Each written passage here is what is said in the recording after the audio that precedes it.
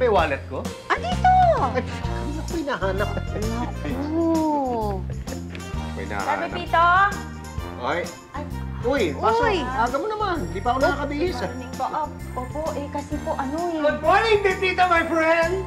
Oh, why you standing? Sit down. ano magiging good eh, nandiyan ka.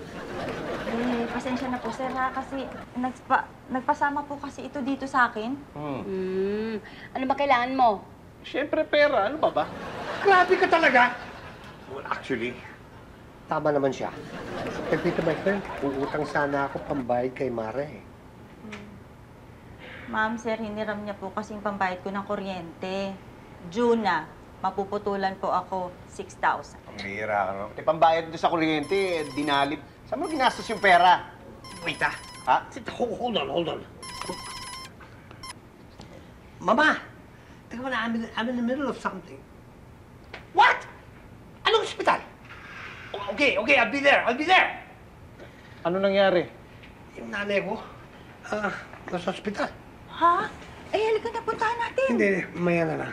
Um, maghanap muna tayo ng paraan para bayaran yung uh, kuryente mo. Naku, hindi. Baka kung ano mangyari sa mama mo. Inasikaso naman siya ng mga doktor eh. Kaya, hayaan mo muna sila. Asikasuin mo na kita. Ay, Tommy. Tsaka mo na lang isipin yung babayaran mo kay Mara. Oo nga. Siya nang bahala doon. Oo, teka, bakit ako?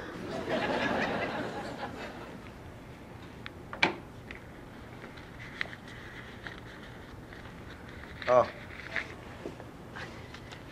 Ah, pwede bang dagdagan? bakit ko dadagdagan? Pang gasolina, papunta ko sa ospital. Oh, Tsaka, of course, mag-overnight ako doon. Kailangan ko mag-dinner. ah, At saka mag-midnight snack. At, at, at, at, bibiling ko sana si mama na ng, ng mga prutas. yung pakunin tong wallet ko, wala nang laman eh. Okay, thank you ah. Parang may lalagyan ako eh. thank you. O, Sige, punta na ako na mama ko. Sige. So, kamusta naman siya? Okay ba ang naging operasyon? She's recovering well. Kaya lang, kailangan iwasan na ma-heart attack siya ulit, di ba? Hmm? Mama! Mama, Ma, wait, are, you- are you sure you can take that off? Did I, did I just survive a heart attack? Mama, I'm so happy to see you. Akala ko kasi we lost you na eh. Tommy, don't be so dramatic. Hindi ko kayong iiwang magkakapatid. And meron pa akong kailangan gawin. Like a last will and testament?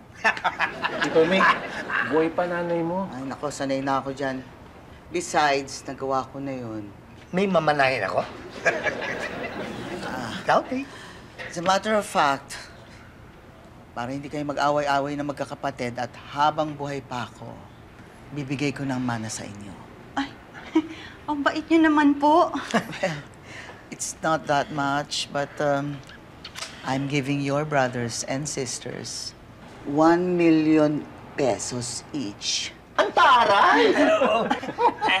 pa, pa, paano naman ako? ako. Well, dahil black sheep ka ng family at uh, hanggang ngayon, hindi ka pa rin nagpapahalaga sa pera, okay, ma mama, I, I don't wanna hear it anymore. I'm sure konti lang yan. sigurado ka ayaw mo malaman kung magkano. It's 2 million pesos. What? But wait, there's more. There's more? 1 million pesos na yun dapat ibigay mo sa charity, ha? Kapag nagawa mo yan, saka mo makukuha ang mana mong 1 million pesos. Yun. Oh. Ano nangyari Tommy. sa'yo? Oy. Tumaas yata BP ko. Ito naman. Masyado ka yata na-excite sa mamanahin mo eh. Hindi yun. Akala ko 2 million na nga eh. Nangalahati pa. Pakitawag lang ang nurse, please. Wait, a- ako na, ako na. Nurse Darwin, tawag naman dito, please. Hello there, Pepito, my friend. Ah, ha? Ano, kano inabot yung babayaran sa operasyon? Don't worry about that. Yeah, yung health insurance ni Mama nag-cover ng lahat. As a matter of fact, she seems to have a lot more money. Talaga? Yup. Eh, mabuti naman. Eh, ba't nandito ka? Well, magbabayad kasi ako ng utang ko kay Pepito, my friend.